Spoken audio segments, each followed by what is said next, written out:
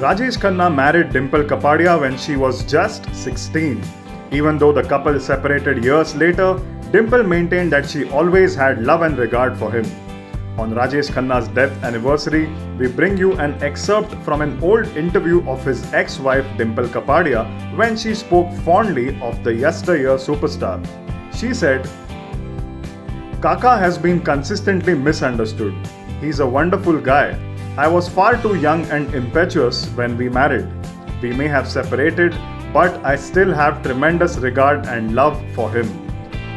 So don't you dare try to extract any nasty statements from me. Kaka's superstardom had to be experienced to be believed. For more news and updates, stay tuned to eTimes.